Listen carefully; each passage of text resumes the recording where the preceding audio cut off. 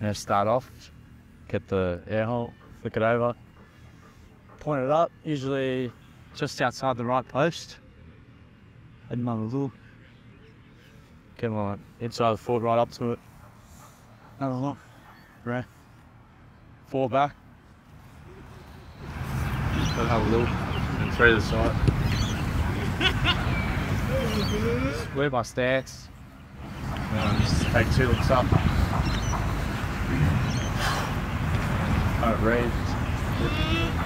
I just focus on the bottom point of the ball. Middle step back.